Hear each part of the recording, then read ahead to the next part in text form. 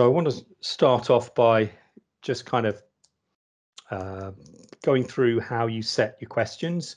So uh, the first time you use it, if, if you can't see a little heart on the uh, conversation bit, it's because it hasn't been installed.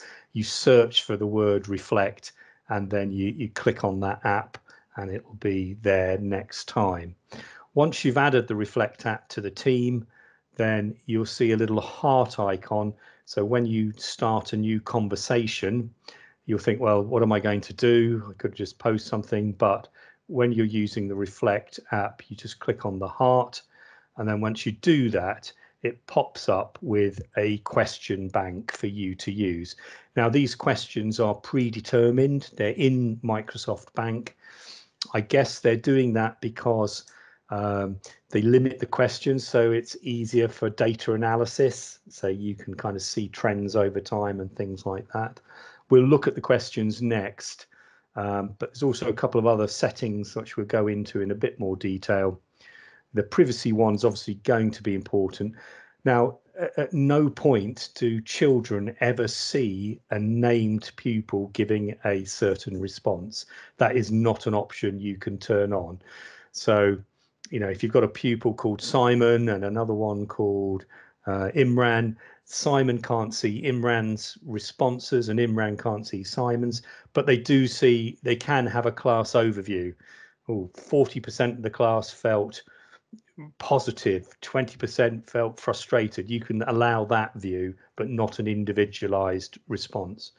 Now, and that's where you choose that, where you can either choose the children see the overall results or they don't see anything apart from what they voted for. The other thing to bear in mind is if there's fewer than five responses, they won't see an overview otherwise uh, uh, uh, until there's at least uh, five or more responses. That's just in case they can work out who replied because it's a very small group in that team. So you won't see uh, the children won't see that class overview until there's a, a certain number of responses already made uh, just to, uh, again, for a bit of privacy, really. So the next slide uh, just basically shows you all the questions you can ask in Reflect, and they're in kind of three categories. There's the personal and social one, which are the kind of how are you feeling today? How's the week been? How are your friendships? What's the mood in our classroom? And then there's uh, four questions to do with their kind of approach to learning, you know, success, understanding, growth, specifics about the last assignment if you're using assignments. And there's kind of the big picture stuff, goals and intentions, you know, how for the future, how are you feeling about your next big challenge? Um, you know, how are you approaching the next school year, the challenges ahead? So they're kind of more generic ones